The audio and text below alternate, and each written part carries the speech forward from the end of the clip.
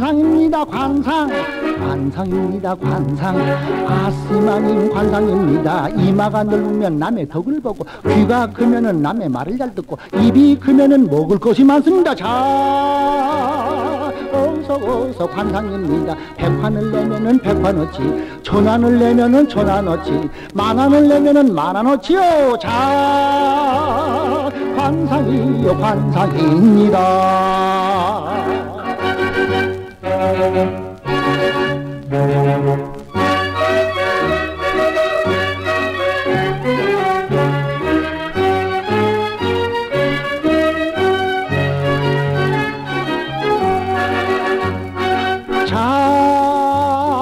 관상입니다 관상 관상입니다 관상.